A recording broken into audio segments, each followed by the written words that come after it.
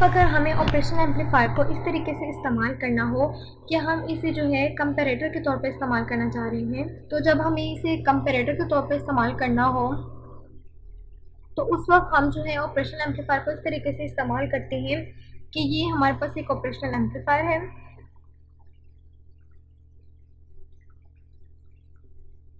इस operation amplifier में हम लोग क्या करते हैं हमें मालूम है कि ये नेगेटिव टर्मिनल है और ये पॉजिटिव टर्मिनल है। हम क्या करते हैं कि नेगेटिव टर्मिनल को यहाँ पर हम लोग एक वेरिएबल जो है, यहाँ पे एक वोल्टेज के साथ अप्लाई कर देते हैं, जिसका वोल्टेज जिसका वोल्टेज वी है किसी भी टाइम यहाँ पे जो हमारे पास वी नेगेटिव है, वो हमारे पास इक्वल आ जाता है वी के, जो कि हम लोगों ने यहाँ पे एक वेरिएबल सोर्स अटैच कर दिया है। और जो हमारे पास वी पॉजिटिव है, उसे हम लोग क्या करते हैं कि उसे हम लोग यहाँ पर वी आर के साथ कनेक्टेड कर देते हैं। वी आर जो है वो बेसिकली हमारे पास पोटेंशियल डिवाइडर है, जिसे हम लोग इस सर्किट के अंदर यूज़ करते हैं। ये हमारे पास एक पोटेंशियल डिवाइडर है क्योंकि हमें मालूम है कि हमारा जो वी पॉजिटिव होता है, इसे हम लोग नॉन इन्वर्टिंग टर्मिनल कहते हैं, और जो वी नेगेटिव है, इसे इन्वर्टिंग टर्मिनल कहते हैं। तो बेसिकली हम लोगों ने क्या किया, अपने इन्वर्टिंग टर्मिनल को जो है एक वेरिएबल सोर्स के साथ कनेक्ट कर दिया, और जो हमारा नॉन इन्वर्टिंग टर्मिनल है, उसे वी आर जो है पोटेंशियल डिवाइडर के साथ कनेक्ट कर दिया। अब इसके बाद हम लोग क्या करते हैं कि यहाँ से एक वायर लेके यहाँ पे पोटेंशियल डिवाइडर आ जाता है।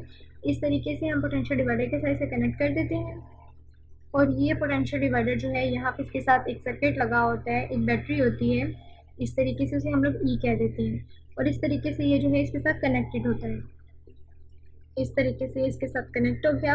और यहाँ पे हमें हम यहाँ पे एक और सोर्स प्रोवाइड कर देते हैं, जिसे हम लोग वी सी सी कहते हैं। इसे वी सी सी बायस बना देते हैं, जो कि हमें यहाँ पर V naught input output voltage जो है, वो प्रोवाइड करता है। इस वी ने बेसिकली हमारे पास यहाँ पे आउटपुट वोल्टेज बनाना होता है। अब ये हमारे पास सर्किट है जो कि कंपेरेटर का सर्किट होता है। कंपेरेटर के सर्किट में बेसिकली हम लोग क्या चीज़ यूज़ करते हैं कि हम यहाँ पे एक पोटेंशियल डिवाइडर ले आते हैं और पोटेंशियल डिवाइडर के साथ साथ हमारे पास एक ऑपरेशन एम्पलीफायर होता है। बेसिकली हमारे पास होता सिर्फ़ एक जो है ऑपरेशन एम्पलीफायर है।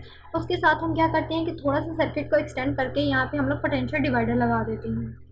कंपेरेटर को जो है, हम बहुत सी जगहों पर इस्तेमाल करते हैं। अभी हम कंपेरेटर की एक एप्लीकेशन के बारे में देखेंगे कि हम किस तरीके से इसे नाइट स्विच के तौर पर इस्तेमाल करते हैं। वो भी हम लोग ये ऑपरेशन एम्पलीफायर के कॉन्सेप्ट को इस्तेमाल करके ही करते हैं। अब बेसिकली इसमें होता क्या है कि ये जो हमारे पास वी नोट है ना, ये हमारे पास आउटपुट होता है।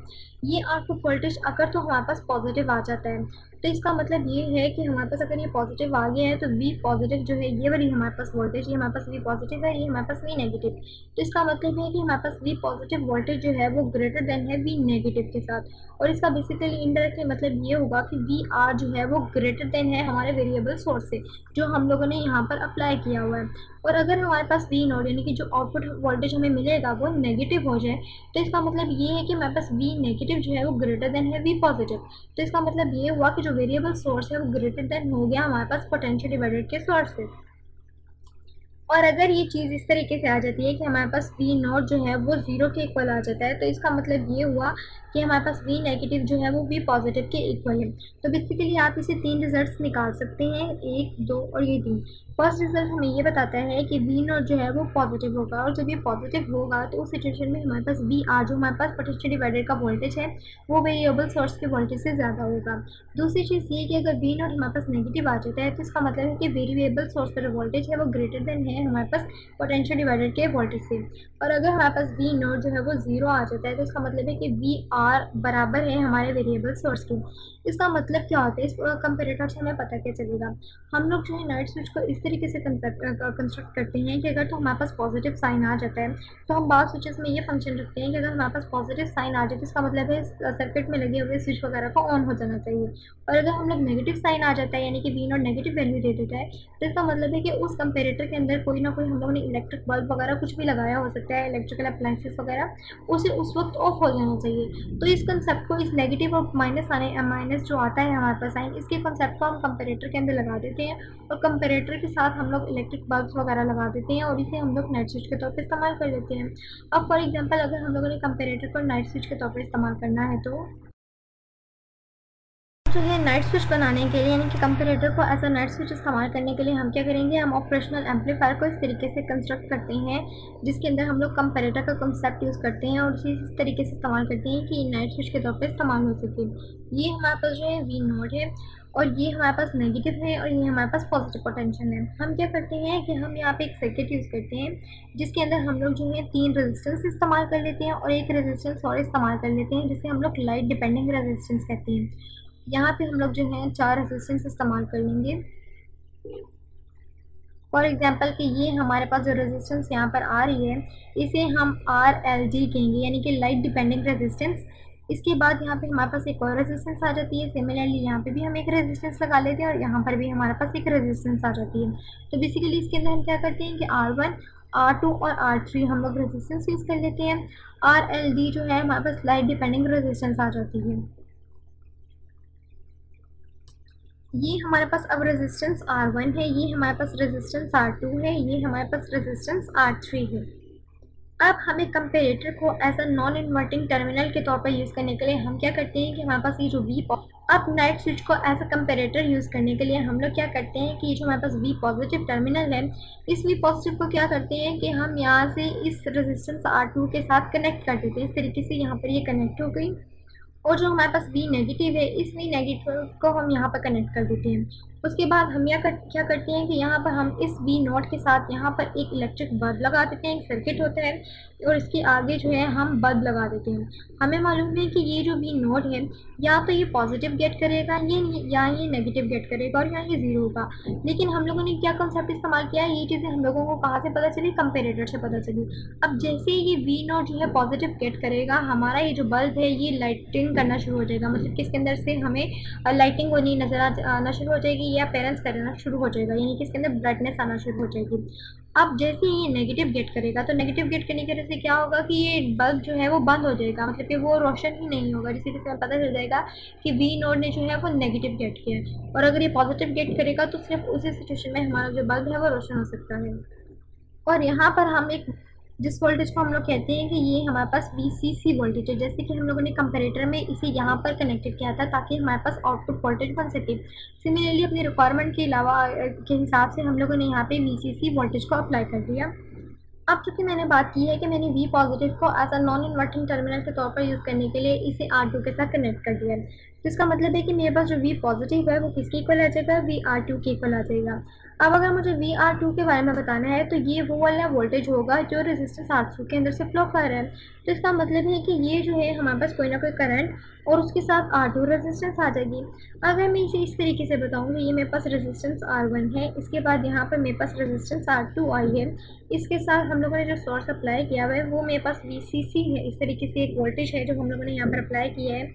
और ये हमारे पास सर्किट कंप्लीट है। अगर अब मुझे आई के बारे में बताना हो तो मैं आई को इस तरीके से लिख सकती हूँ कि मेरे पास C C voltage divided by I R जो हमारे पास आ जाती है। आर इक्वेलेंट यहाँ पे चूँकि दो रेजिस्टेंस इस्तेमाल हो रही है तो मुझे आर इक्वेलेंट लिखना चाहिए। इसका मतलब है मेरे पास जो करंट आ जाएगा, वो V C C divided by R equivalent इसका मतलब है R one plus R two के इक्वल आ जाएगा। R one plus R two के इक्वल आ जाएगी, ये ये वाली सारी की सारी चीज़। अब मैं इसे इस तरीके से लिख सकती हूँ कि चूँकि ये करंट के बारे में रिलेशनशिप है तो मैं इसे यहाँ पे V C C divided by R one plus R two के फॉर्म में लिख सकती हूँ इंटू आर टू लिख सकती हूँ। तो ये बेसिकली मेरे पास वी आर टू के बारे में रिलेशनशिप आ गया है कि जो इस रेजिस्टेंस आर टू के अंदर से करंट वोल्टेज फ्लो हो रहा है, उसे मैं इस फॉर्म में लिख सकती हूँ। और वो वाला जो वोल्टेज है, वो वी प्लस वोल्टेज के इक्वल है, जो कि इस कंपेरेटर को as a non inverting amplifier के तौर पर यूज़ करने के लिए इस्तेमाल हुआ है। तो इस तरीके से अब मेरे पास जो है वी आर टू के बारे में जो रिलेशन आ गया, वो इस तरीके से आया कि आर टू को मैं इस तरफ़ कर लूँ और R one plus R two को यहाँ पर लिख लूँ तो मैं वी सी सी को यहाँ पर मल्टीप्लिकेशन में आराम से साइड पर लिख सकती हूँ। अब यहाँ पे तो हम लोगों ने ये वाला, वो वाला फ़ंक्शन निकाला है, जो हम लोगों ने ऑपरेशन एम्पलीफायर को as a non inverting amplifier के तौर पर इस्तेमाल करने के लिए लगाया था। लेकिन हम लोगों ने इसी कंपेरेटर को, इसी जो हमारे पास ऑपरेशन एम्पलीफायर है, इसे इन्वर्टिंग बनाने के लिए क्या किया है कि हमारे पास वी नेगेटिव था, उसे हम लोगों ने इस रेजिस्टेंस आर थ्री के साथ इस लाइन में कनेक्ट कर दिया ये वी पॉजिटिव तो आर टू के साथ कनेक्टेड है ना? और जो हमारे पास वी नेगेटिव है, वो कनेक्टेड है आर थ्री के साथ। तो आर थ्री के साथ जब हम लोगों ने कनेक्ट कर दिया है अपने वी नेगेटिव को तो ये उस, इसलिए किया गया है ताकि हम अपने जो है ऑपरेशन एम्पलीफायर को इन्वर्टिंग टर्मिनल के तौर पर भी इस्तेमाल कर सकें। तो यहाँ पर अगर मुझे वी नेगेटिव के क्रॉस वोल्टेज चाहिए तो ये वी नेगेटिव बेसिकली मेरे पास वी आर थ्री के इक्वल है। तो यहाँ पे मुझे अगर वी आर थ्री के बारे में इंफॉर्मेशन चाहिए तो उसे भी मैं सेम इसी तरह लिख सकती हूँ कि जो करंट फ्लो हो रहा है इंटू आर थ्री के इक्वल आ जाएगा।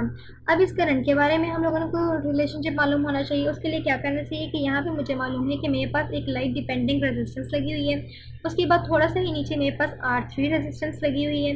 ये मेरे पास आर एल ई डी है और ये आर थ्री रेजिस्टेंस है। इसके साथ ही यहाँ पे एक और वोल्टेज सोर्स अप्लाई हुआ हुआ है, इस तरीके से। जो कि हमारे पास वी सी सी है, चूँकि ये सारी की सारी रेजिस्टेंस हम लोगों ने वी सी सी के साथ कनेक्ट की थी तो ये हमारे पास जो है रेजिस्टेंस आ गई। अब अगर इस केस में मैं करंट के लिए रिलेशनशिप निकालूँ तो मुझे मालूम है कि जो करंट है वो वोल्टेज डिवाइड बाय हमारे पास जो है, जो हमारी टोटल रेजिस्टेंस है, जो हमारी इक्वलेंट रेजिस्टेंस है, उसके इक्वल आ जाएगा। अब यहाँ पे जो वोल्टेज है वोल्टेज वो वी सी सी के इक्वल है और इक्वलेंट रेजिस्टेंस हमारे पास R L E D plus R three के इक्वल है। तो अगर मैं इस चीज़ को यहाँ पर पुट कर दूँ कि ये मेरे पास V C C divided by R L E D plus R three into यहाँ पर हमारे पास क्या चीज़ आ जाती है? आर थ्री ये मेरे पास आर थ्री आ गई जो कि वी आर थ्री के लिए रिलेशनशिप निकल रहा है। तो वी आर थ्री को मैं इस तरीके से लिख सकती हूँ कि R three divided by R L E D R L D plus R three into V C C जिस तरीके से हम लोगों ने इसी को एन ए को बनाया सिमिलरली इसी को एन बी को भी बना लिया। अब हमारा जो वेरिएबल सोर्स था जो कि वी नेगेटिव है ये वेरिएबल सोर्स क्योंकि हमें मालूम था कि वी नेगेटिव के साथ हम लोगों ने अपना वेरिएबल सोर्स लगाया था। हम लोगों ने जब इसे ऑपरेशन एम्पलीफायर को एज अ कंपरेटर यूज़ किया था तो अब ये हम लोगों ने वी नेगेटिव के साथ लगाया था। वी नेगेटिव जो था बेसिकली हमारे किसके इक्वल था? यहाँ पर हमारे पास एक वेरिएबल पोटेंशियल डिफरेंस लगाया हुआ था। वेरिएबल पोटेंशियल सोर्स था जिसके साथ वो कनेक्टेड था जिसके इक्वल उसे हम लोगों ने एज्यूम किया था। और, और ऑपरेशनल एम्पलीफायर को अगर जब हम लोग यूज़ करते हैं एज अ नाइट स्विच तो नाइट स्विच के अंदर जो ये हमारे पास आ जाती है वेरिएबल सोर्स ये वेरिएबल सोर्स डिपेंड करता है इस आर एल डी के ऊपर। डे टाइम में हमें मालूम है कि लाइट की इंटेंसिटी बहुत ज़्यादा होती है, जिसकी वजह से हमारे पास आर एल डी की वैल्यू जो है वो बहुत ज़्यादा स्मॉल हो जाती है। इसकी वजह से क्या होता है कि वी नेगेटिव या वी आर थ्री जो है वो ग्रेटर देन होती है वी पॉजिटिव से। तो जिसकी वजह से क्या होता है कि हमारे पास जो वी नोड की वजह से हमारे पास जो वी नोड है, वो नेगेटिव गेट कर लेता है और नेगेटिव होने की वजह से हमारा जो स्विच है, जिसके साथ हम लोगों ने बल्ब लगाया है, वो उस वक्त जो है वो ऑफ़ रहता है। और जैसे ही हमारे पास डार्कर होता है मतलब कि अंधेरा छाने लगता है तो उस वक्त लाइट की इंटेंसिटी कम हो जाती है, जिसकी वजह से आर एल डी की जो वो जो वैल्यू है, वो हमारे पास इंक्रीज होना शुरू हो जाती है। जैसे ही वो इंक्रीज होती है, उस वक्त तो हमारे पास वी पॉजिटिव जो है वी नेगेटिव और वी आर थ्री से जो है, वो इंक्रीज हो जाता है। और उस वक्त जो है वी नॉट हमारे पास पॉजिटिव साइन गेट कर लेते हैं, जिसकी वजह से हमारे जो बल्ब है या जो भी नाइट स्विच हम लोग इस्तेमाल कर रहे हैं, वो उस वक्त ब्राइटर होना शुरू हो जाता है, उस वक्त हमें रोशनी प्रोवाइड करना शुरू हो जाता है। तो इसका मतलब है कि जब हमारे पास वी नेगेटिव आ जाए तो वी नेगेटिव वी नेगेटिव हो या हमारे पास बी आर थ्री हो।